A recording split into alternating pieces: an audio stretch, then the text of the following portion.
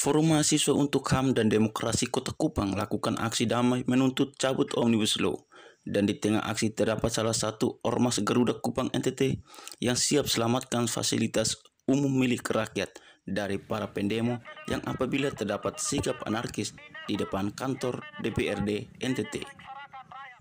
Aksi damai yang berlangsung dari Pasar Impres Kota Kupang hingga depan gedung DPRD NTT dan dikawal ketat oleh pihak kepolisian Kota Kupang. Dalam pantauan media terdapat 22 tuntutan yang disampaikan oleh Koordinator Umum Yuvemberia sebagai berikut. Yang ke-11, tolak otonomi khusus jilid 2 dan tarik TNI Polri dari tanah Papua. Yang ke-12, hentikan segala aktivitas Pemprov di Pubabu Besipai.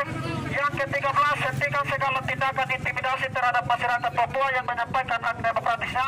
Yang ke-14, wujudkan pendidikan yang ilmiah demokratis dan mengabdi pada rakyat. Yang ke-15, tolak pilkada borjuasi atau tolak pilkada borjuasi. Yang ke-16, hentikan PHK di tengah situasi pandemi COVID-19.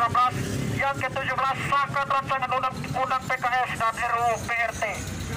Yang ke-18, dukung buruh mogok. Yang ke-19, tuntaskan dan adili pelaku pelanggaran HAM. Yang ke-20, berikan hak cuti terhadap perempuan.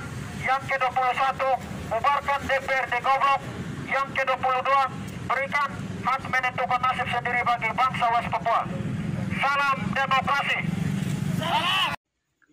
Maksilai selaku Ketua Umum Garuda Kupang NTT mengatakan tujuan Ormas Garuda Kupang NTT yakni untuk mengawal agar tidak terjadi anarkisme.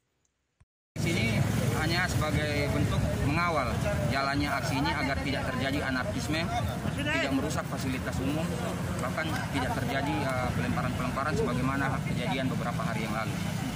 Uh, apa namanya kegiatan yang kami lakukan ini ini awal ya bila mana besok masih ada aksi lagi saya pastikan kami dari Garuda Kupang NTT akan turun lebih banyak juga Ketua Koordinator Lapangan Yandri Nawa menyatakan bahwa aksi demo yang dilakukan sebelumnya tidak menunjukkan sikap sebagai seorang mahasiswa karena terdapat perusakan fasilitas umum. Itu kan bukan mencerminkan seorang pelajar. Apalagi mahasiswa. Membawa nama masyarakat. Mau protes undang-undang apa pun silakan. Enak, enak, enak. Tapi kami di sini dari dulu selama Pak Jokowi beliau datang memang di sini terjadi. Jangan coba-coba bikin rusak apa yang sudah diberikan oleh pemerintah di sini.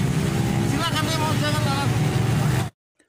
Wakil Ketua Koordinator Lapangan Dewa Ferdinand, Ormas Garuda Kupang NTT siap untuk mendukung pemerintah dan datang dari masyarakat yang peduli akan NTT. Kita ini tidak ada dari aliansi kita semua masyarakat yang datang peduli akan NTT dan NKRI harga mati. Kupang Nixon Spektrum NTT melaporkan.